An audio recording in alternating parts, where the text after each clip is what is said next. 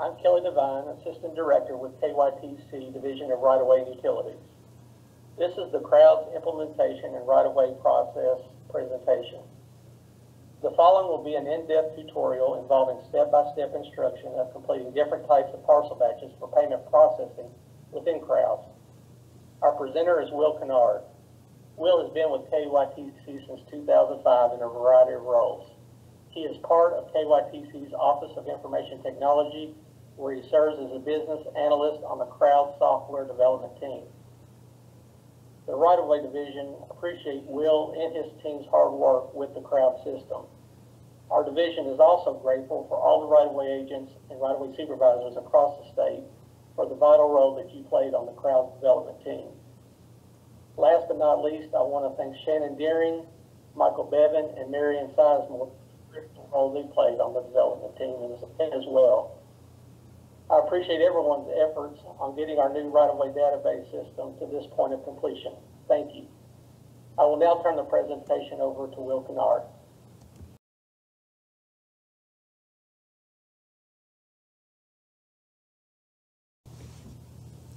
Hi, my name is Will Kinnaird. And I'm from the Office of Information Technology in the Transportation Cabinet. And I'm here today to talk to you a little bit about the KROWDS Acquisition Project. Um, I'm going to start with some high level information and then we'll dive in and see some screens from the uh, new application. But so overall, so what is KROWDS? KROWDS is the Kentucky right-of-way data system and it's something that we're doing in phases. Uh, we already did one phase and it's called KROWDS Appraisal in 2018. and that was all about being able to create your projects, create your parcels, and then do appraisals on those parcels.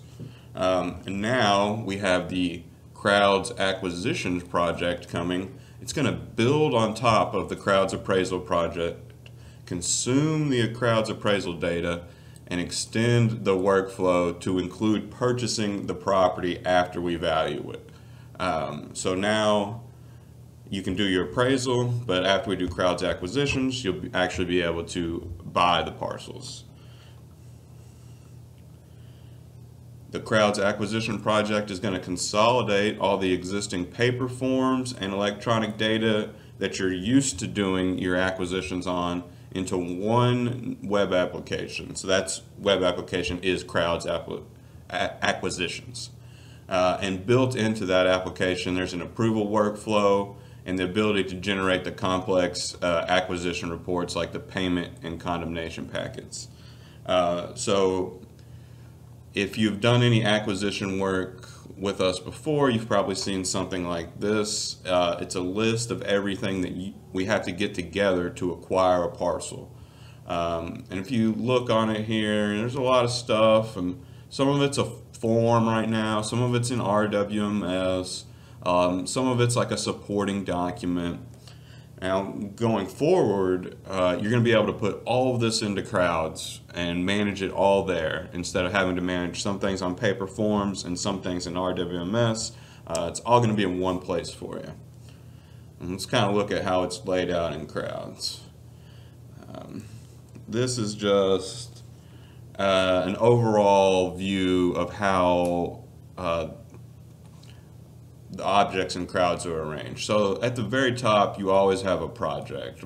Everything flows from a project. And then on a project, you have parcels, parcel one, parcel two, parcel three, more parcels. You know, there could be a hundred parcels. Each parcel has appraisals. And now the new part is each parcel is going to have an acquisition. Uh, and then what makes up that acquisition are going to be these packets. Uh, so if we look at, this is just an example, with parcel three, they've got a payment packet, a tax packet, a miscellaneous payment packet. Um, and we'll see more about what the different types are for uh, here in a little bit. And then inside each packet you have specific documents like you know maybe this packet has a record of contacts and an excess purchase property um, and then uh, more documents and then also you have attachments inside your packets, like maybe your deed or uh, your SOS status. Um, so KROWDS is going to let you build all these documents and attachments into a packet. Now, let's go see how that actually works in KROWDS.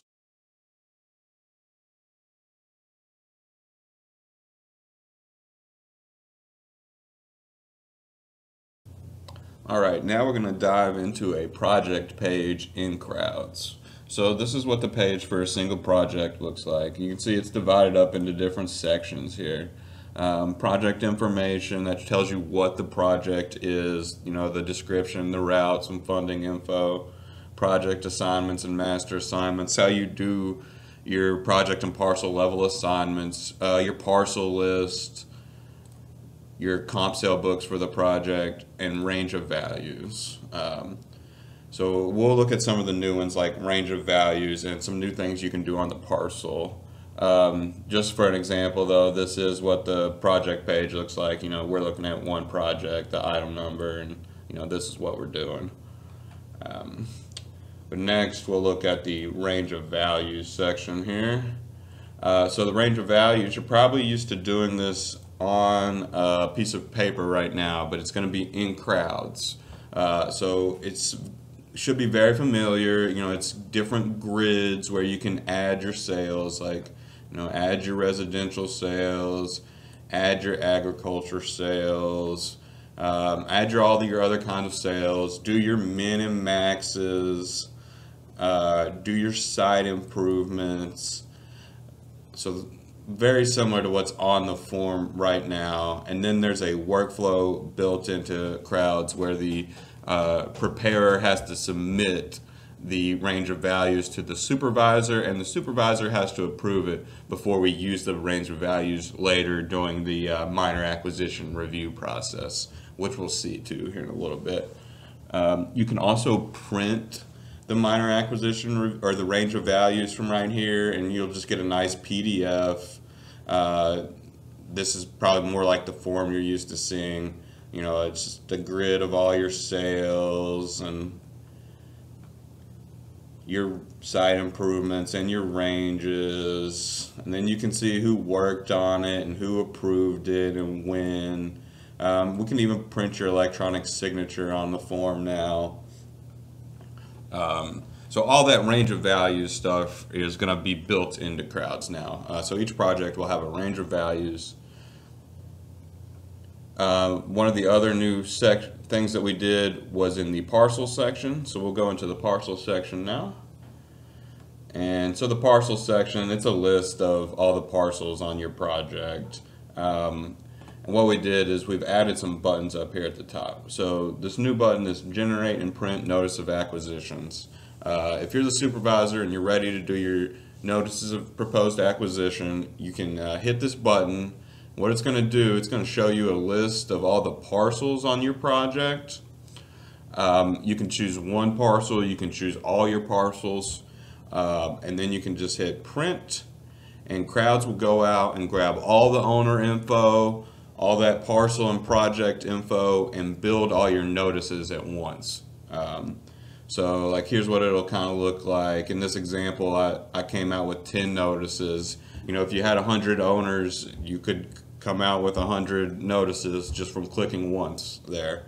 Um, you can see that, it, you know, it fills in all the uh, project info. It's got the owner info in there for me automatically. So I can just print off those PDFs and uh, get ready to mail them right away instead of having to do them one at a time or anything.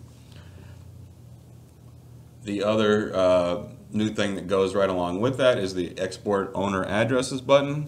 And if I hit that button, what it's going to do is going to download all the addresses from uh, my parcel owners as a uh, file that I can then open. Uh, the file looks something like this. Here I have it open in Excel. Um, you know, from Excel I could merge this down to uh, Word and do a mail merge to generate labels. Or if I uh, if I have one of those special label printers, uh, almost all of them will uh, work with this kind of file uh, automatically. But so using this, you should be able to do mailing labels for your notices uh, that you just previously did, put them together and mail them out real quick instead of having to do them one at a time or go through some uh, parcel by parcel process.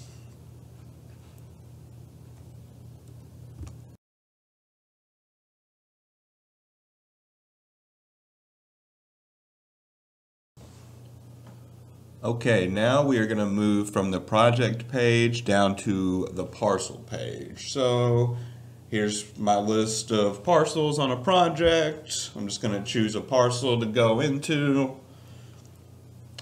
The parcel page looks like this. Um, you can see it's divided into different sections again. Parcel info tells you uh, where the parcel is, what we're, exactly we're acquiring, um, overall info like that. The appraisal section, of course, tells you how much the parcel is worth. And the new section is acquisition. So that's the section that we're going to look at today. Let's go into the acquisition section, and it has two subsections, uh, the packets and the status. Uh, and then we'll look at what are inside these.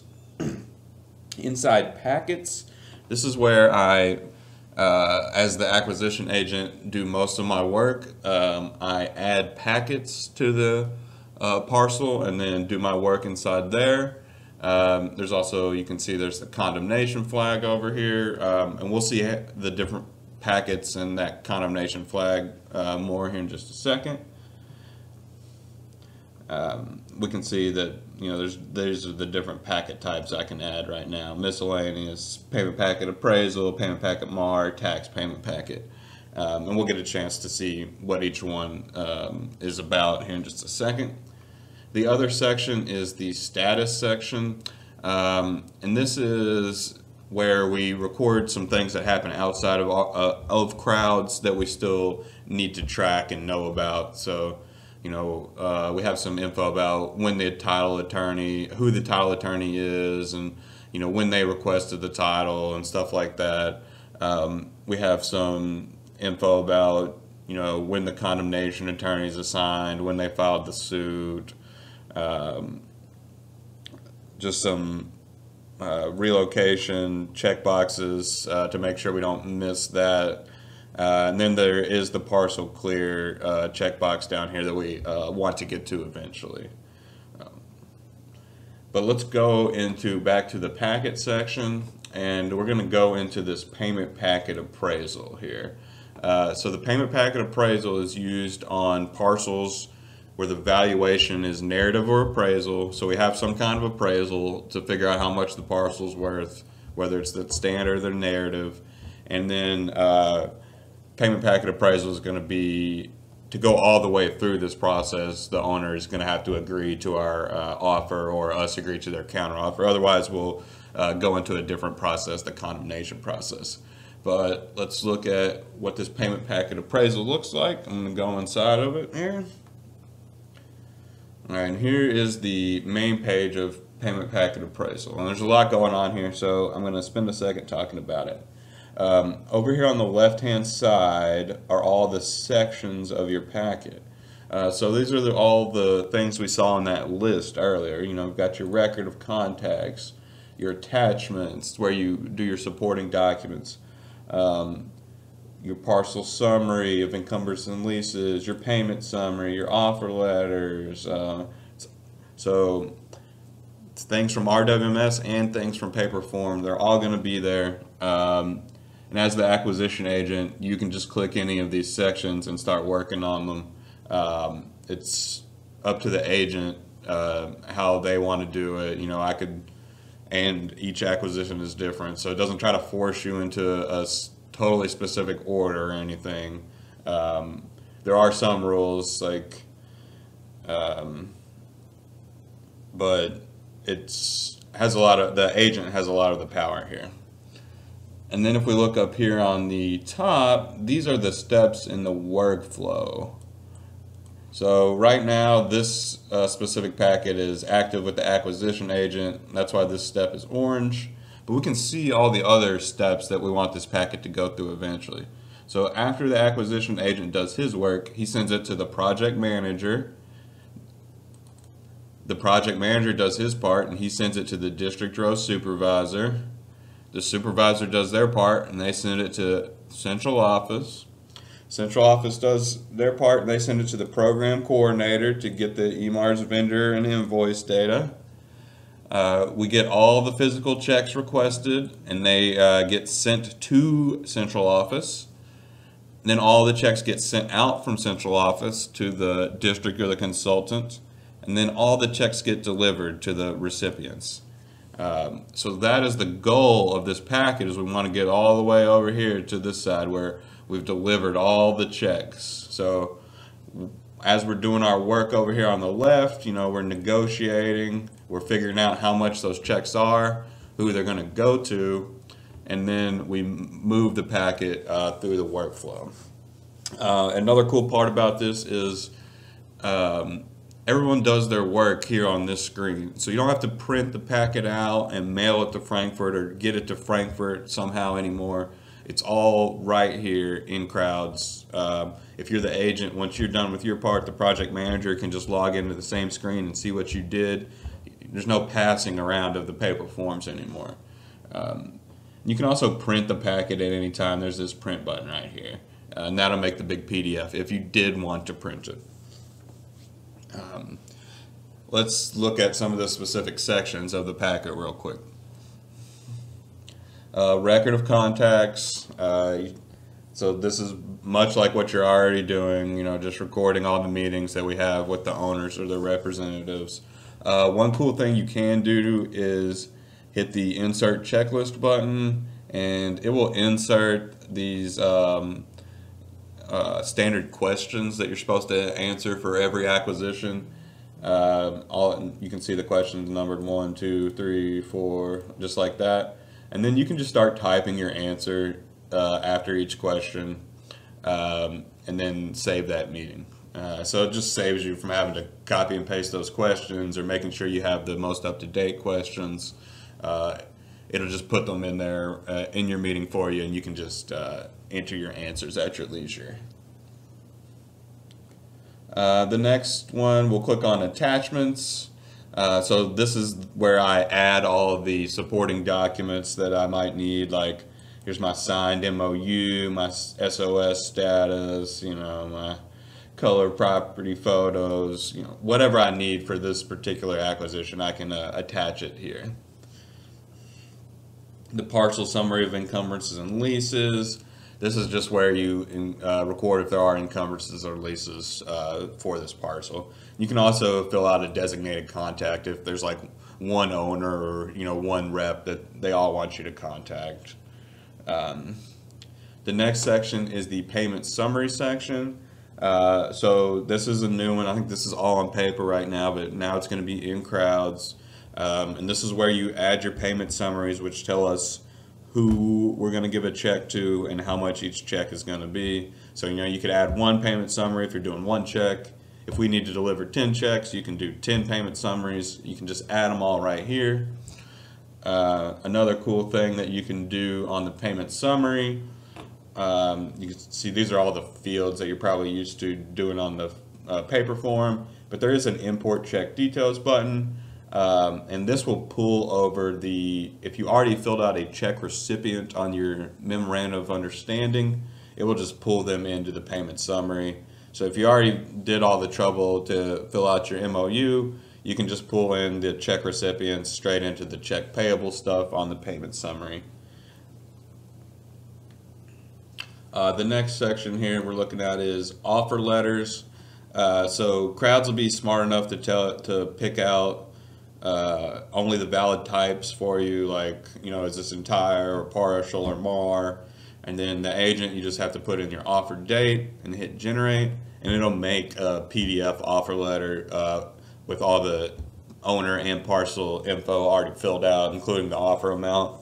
Um, we'll see what that looks like in just a second. And then you can also come back here and, uh, like if the appraisal got revised, uh, do another offer letter and it will pick up the new uh, appraisal amount and mark the, the second offer letter as revised.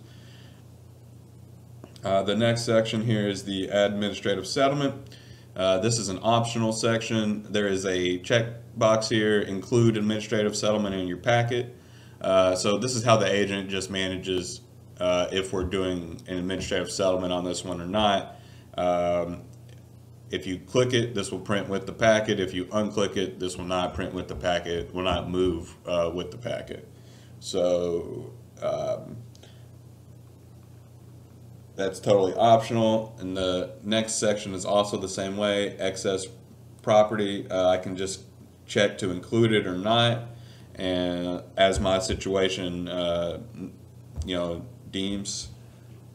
The next and last section is the memorandum of understanding. Um, and what you can do on here is fill out your whole MOU. Here's all the, the grids that are on the MOU, and all those check boxes are down here too about this is a total, this is a partial, we're getting a sign, we're not getting a sign. All that is on there. Um, so you can fill out all this on your MOU, and then you can hit this print with data button. That will generate your MOU as a PDF. Uh, so you could then print that PDF and have the owner actually physically sign the paper and then go back to attachments and upload the signed MOU. Um, if you are already doing like signatures in Adobe, you know, you could have the owner sign that PDF and then save the PDF and upload the PDF to attachments.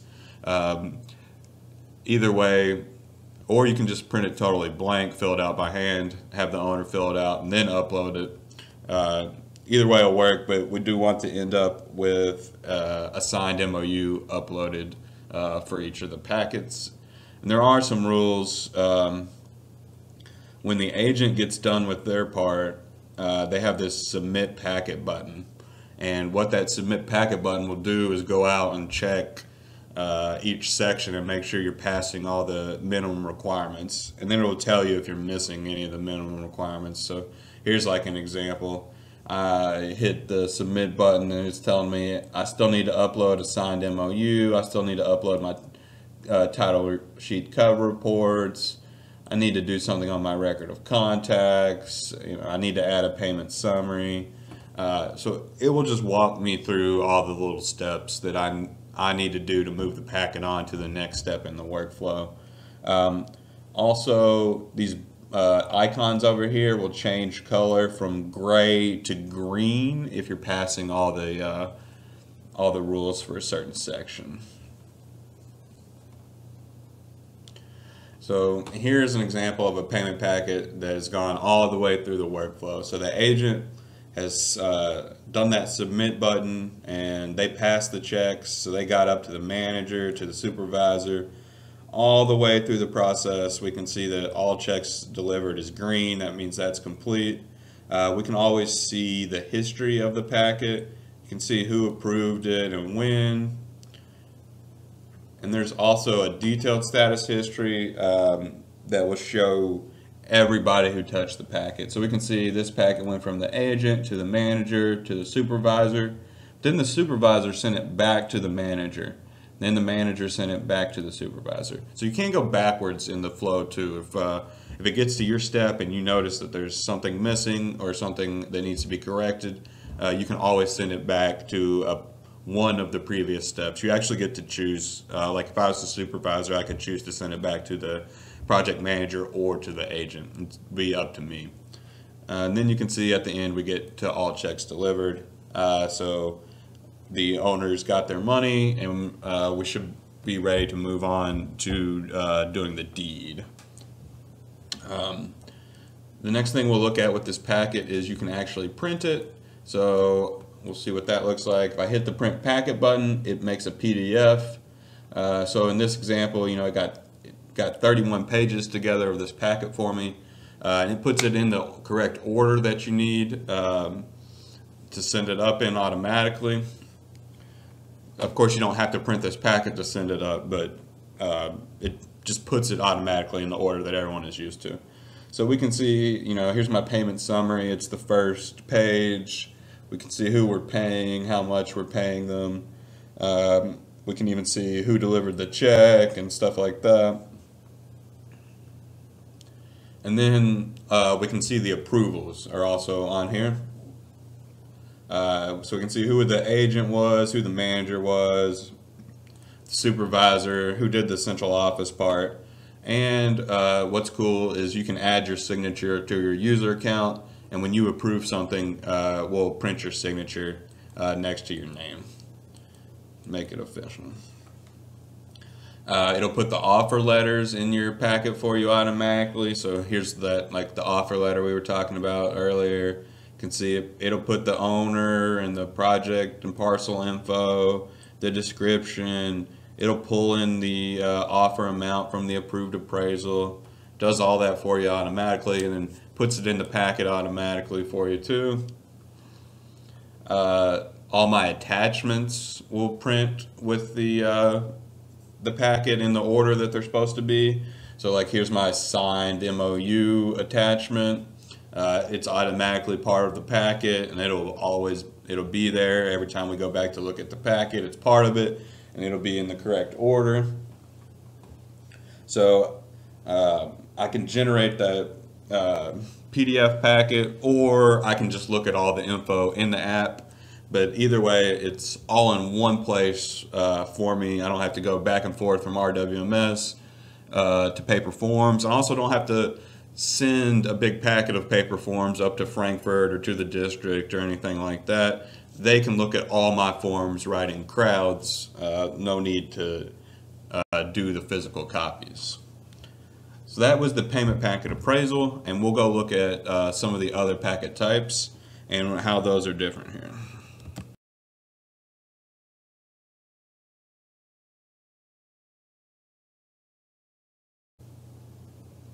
Okay, now we're going to look at one of the other packet types. So this is payment packet MAR. Um, so this one is used for parcels where the valuation is minor acquisition review. So instead of doing the appraisal, we're doing the MAR on this one. Um, the rules are just slightly different, which we'll see, uh, but it's very similar to payment packet appraisal too. Uh, so here we are, we're on one parcel, and this parcel has a payment packet MAR. So I'm going to go into the packet Here is the packet homepage. So this should look very familiar to you from the last one. Uh, we have the same workflow steps where we go from the agent to the manager to the supervisor all the way to delivering checks. So again, the goal of this is to deliver the checks, uh, to negotiate and then deliver the checks. If we look over here on the side, the sections are also very similar. Uh, there's no excess property purchase. We're not doing those on a, a, minor acquisition review. And there's one new section, the actual minor acquisition review section. Uh, so we will look at that section here.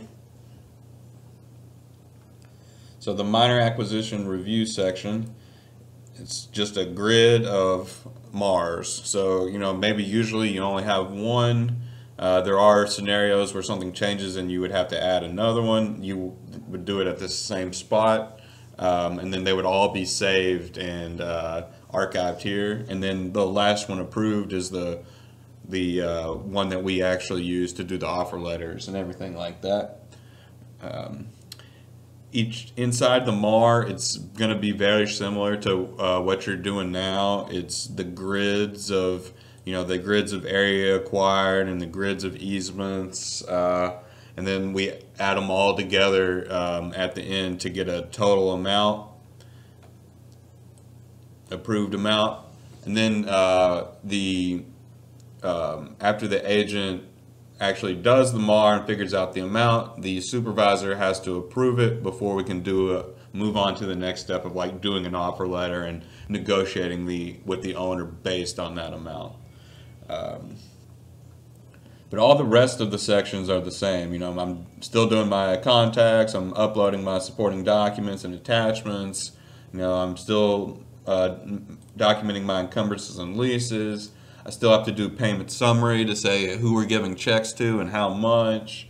Offer letters. Um, you know, my offer letter will look slightly different because it's a MAR, but overall it works the same. Admin settlement works the same. MOU works the same. Uh, and then I can also print the packet again. And again, it'll arrange it all for me. Uh, like this example is 29 pages. Here's my uh, payment summary at the beginning, just like last time, and then I can also it'll put in the new uh, MAR specific stuff like here's my minor acquisition review and it put it in the correct order. And for this example it's page 20 out of 29 but uh, it'll put it in there you know and I can see my easements. And if I did improvements site improvements other I can see it's all added up here. And then it'll have who did it and who approved it uh, and it'll have the signatures uh, very similar to the other like payment summary that we saw.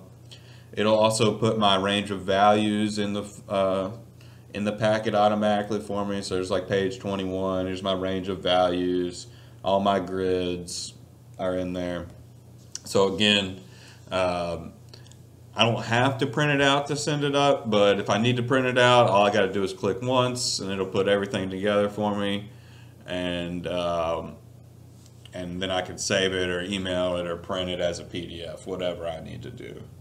And then the, as we saw, the payment packet MAR is very similar to payment packet appraisal. Uh, it just has the minor acquisition review section added on and the uh, excess property section removed.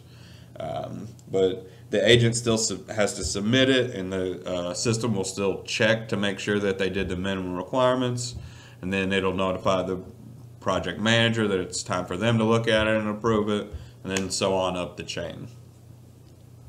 Uh, and we'll move on to the next packet type here.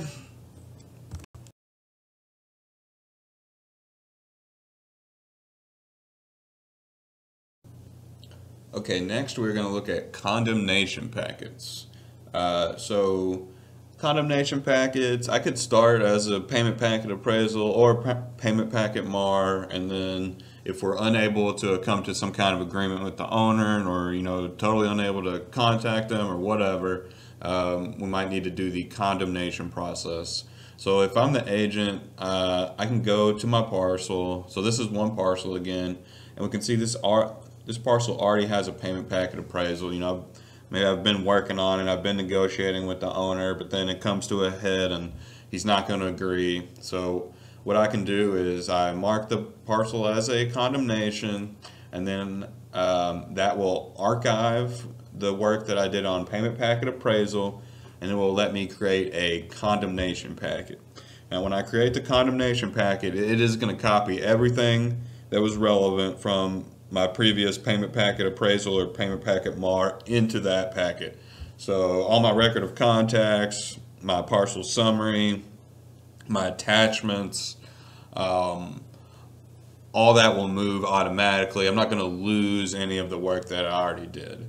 And we'll kind of see how that works. So if I'm the agent and I hit the flag button and then add a condemnation packet, I'm going to end up with something like this. And we can see that it started out as this payment packet appraisal uh, from this day to this day, but then we turned it into a condemnation. And again, it did, it copied everything from that matters from this payment packet appraisal to the condemnation packet automatically for me. Um, now let's go into the condemnation packet and look at it. So we'll notice that it's just a little different from uh, the others. Um, if we look at the workflow here, uh, it is the same until we get past central office. Uh, after that, instead of requesting checks and delivering checks, we send the packet to legal so they can go to court. And then uh, we wait till the civil action is complete to record the results of uh, whatever happened in court in here. And we get all the way to the end. But so the end of the condemnation packet, instead of delivering the checks, is completing the civil action. Uh, so the workflow is just a little different. Uh, but it still does use the same kind of idea where each person in the chain uh, can hit the hit a button to send it up to the next uh, the next uh, part of the chain. Uh, still, I don't have to print it out and send it to Frankfurt or anything. It's I just hit my submit button as the agent and kick off this chain. And then if we look over here on the left hand side, you can see the sections are slightly different. We've removed there's no excess, there's no admin settlement, there's no payment summary, um, and there is one new one, the condemnation pay statement. Um, but so in these other four sections, it, it will copy everything that I did um, in the previous packet. So I don't have to type on my record of contacts again. My offer letters will still be there. I'm not doing any new ones as the condemnation uh, process, but the ones I previously did will still be there. And my parcel summary will still be there. My attachments will still be there. I can add new attachments. I can edit the parcel summary if I still need to. Um, and then let's look at the condemnation pay statement, the new section. Um, so if you're used to the paper form, this would be similar. Uh, section two uh, has some stuff for the agent to do, but section three and four are all about what happens uh, after the agent and has already sent it up to central office, and central office has sent it to legal.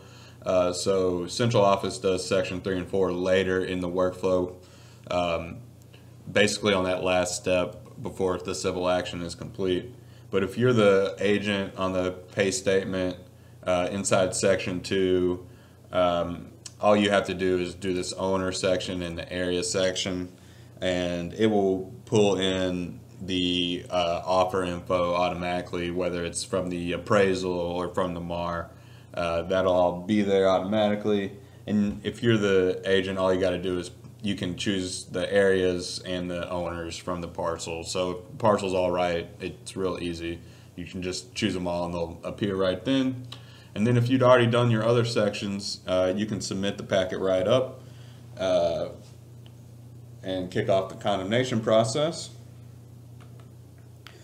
Um, here's what section three and section four look like that the central office group does at the end of the process. So, you know, they're telling us what kind of award uh, came out of court and, you know, how much the verdict was in court and if we owe interest and, uh, you know, all that, all that good condemnation uh, data that we need. And then here's an example of one that's gone all the way through. So you see it's green over here, civil action complete. So in this example, you know, we already, we've recorded all that award stuff in the record of posting judgment and it's all, all part of our condemnation pay statement over here. And again, we can see who approved the packet and when and all that stuff. Um, and again, I can print the packet. When I print the packet, it will uh, gather all the info together and put it in that order for me again. So this one was 27 pages. Uh, the first page of the condemnation packet is this condemnation memo that we're we're sending to legal. Uh, so it'll build this letter automatically with the, you know, who's sending it and who we're sending it to and what project is it about and all that. Uh, it'll put my condemnation pay statement in there. Um, it'll have you know, there's some approval stuff, which supervisor looked at my packet and approved it. Um, it's all in there.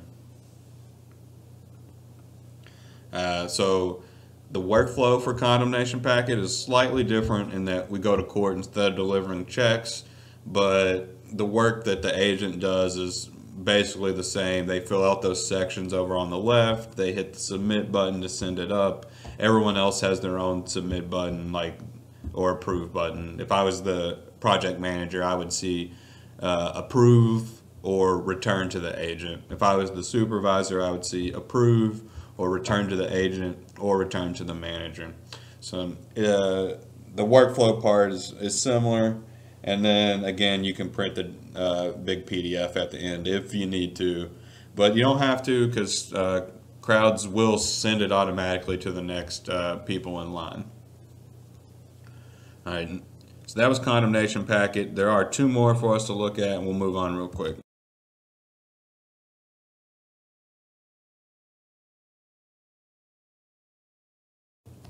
Okay, the next kind of packet we're going to look at is a tax payment packet. So this kind is used to pay the property owners uh, prorated property taxes uh, for the portion of the year after the cabinet acquires it. Uh, so it just helps you figure out how much is owed and then who we're going to pay it to and helps track all that. So right now you're probably doing this one all on paper, uh, but now this is going to be in KROWDS and it's going to have a workflow and uh, it'll be saved and tracked and everything. So here we're back on one parcel and we're looking at the packets for one parcel. So you see this one has kind of a mix of different stuff going on. Uh, we've done two miscellaneous, so we've had some unexpected expenses, but uh, we also have this tax payment packet. So let's dive into that. All right, so this should be starting to look familiar to you probably. Uh, if you see the workflow here, it is the check delivery workflow. So this is the same flow as we do uh, for payment packet appraisal and payment packet MAR. The acquisition agent starts it off. We have to go through these different levels of approval. Then we have this process to get the checks requested and mailed, and then the checks get delivered. Uh, so again, that's the goal of the tax payment packet is to deliver the uh, money we owe for the prorated property taxes to the owner.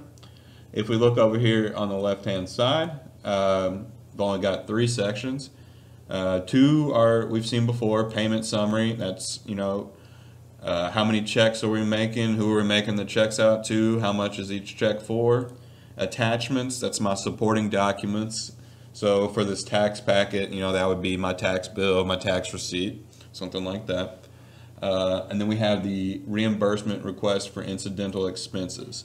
Um, so this is the new section that we haven't seen yet, and um, this section is like you're probably doing it on like an Excel sheet now or a calculator, even maybe if you're doing it. Um, so we'll jump into this reimbursement request for incidental expenses section. And here it is. So this section, this is divided up into three sections. Uh, section two is like the totals. Section three is who we're paying. And section four is where you figure out uh, how much we're actually paying. So this does match back to that Excel sheet. If you're used to using that, um, you should fit right into here. Um, so the exciting part is probably uh, section four, where we actually calculate the amounts that are owed. Um, we just need the agent to tell us the beginning date of possession and the ending date will automatically fill in as the last day of the year. Um, you can change it if you need to for some kind of extraordinary circumstances. So then we can figure out how many days we've owned the property. Um, we need the agent to tell us how much uh, is the amount of the tax bill and what's the value of the property on the tax bill. But everything else uh, we can figure out by looking at the MAR or the appraisal and the parcel. Um, KROWDS will also know uh, is this a total acquisition? Is this a partial using a MAR or a partial using an appraisal? And it'll automatically use, it'll take you to the correct section uh, and won't let you use one of the wrong calculations. But so here's the county one. So we ended up with the county amount, so this will move up to section two uh, in the totals. And there's another um, section just like this for city tax share that's exactly the same where um, if you just, you got we got to know the amount of the tax bill and the value of the property and then we can figure out how much we owe the owner. Um, so once we do that, figure out how much we want to pay the owner, uh, you can print the uh, the whole form out and have them sign it and then upload it to the attachment section uh, so that you have the signed reimbursed request for incidental. And again, you can print this packet uh, as the PDF if you need to. It, you can just send it up to the next step without printing it yourself. It'll all be there in KROWDS. So here's like, it's 10 pages. Again, the payment summary is first, you know, who we're paying. Uh, and that's the end of tax packet. Uh, that one's simple. And now we'll look at the last one, miscellaneous packet, which is the simplest.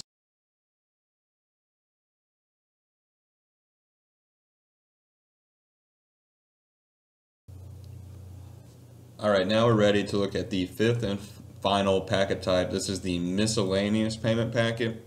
And so this one is used to pay for any unexpected expenses that we run into while we're doing the project. So, uh, you know, we hit a fence accidentally and need to pay for it, or, you know, we dug up some septic that we didn't mean to. Any, anything that uh, just comes up that we need to pay, we can do this miscellaneous payment packet now. Uh, so you're probably doing this on paper, but now this is all part of KROWDS. Um, as you can see in this example, there's two miscellaneous payment packets on this parcel.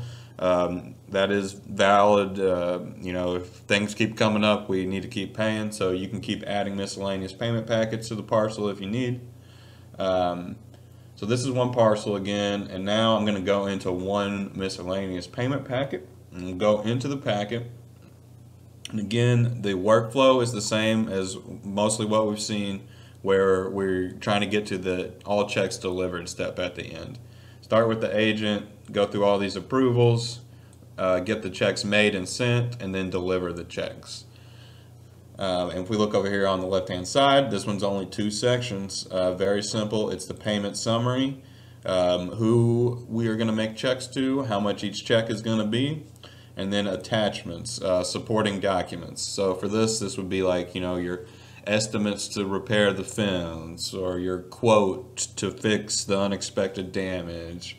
You know, we could just uh, put those in the attachment section and then they'll become part of the packet. And as the agent, you can send the packet up to get the checks made and then deliver the checks. Um, and then, of course, you can again print the packet just like all the other ones. Uh, so, you know, see this one's 14 pages. Maybe I had several payment summaries, maybe I had a lot of uh, supporting attachments. Uh, but again, it'll put them all together. Um, if I need to print it or email it as one of these PDF packets, it'll all be there for me automatically. Um, so these miscellaneous packets are basically just payment summaries to show who we're paying and how much, and then attachments to uh, support those payments. And that's the end of the five different packet types that we have in KROWDS. Uh, so I hope that helps you understand uh, what will be possible in KROWDS and how the work you are doing now uh, in RWMS or on paper forms will change in the future uh, to become part of KROWDS. Um, so thanks for listening and I hope that was informative and everyone have a great day.